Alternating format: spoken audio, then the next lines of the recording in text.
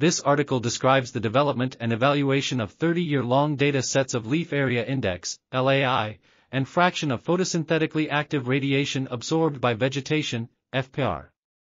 These data sets are critical for monitoring global vegetation dynamics and modeling exchanges of energy, mass, and momentum between the land surface and planetary boundary layer a neural network algorithm was developed to generate corresponding LAI-3G and FPAR-3G data sets with attributes such as 15-day temporal frequency, 1/12 degree spatial resolution, and a temporal span of July 1981 to December 2011. The quality of these data sets for scientific research in other disciplines was assessed through various comparisons and correlations.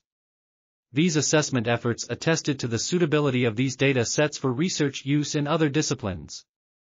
The LAI-3G and FPAR-3G datasets can be obtained freely from the NASA Earth Exchange NEX, website.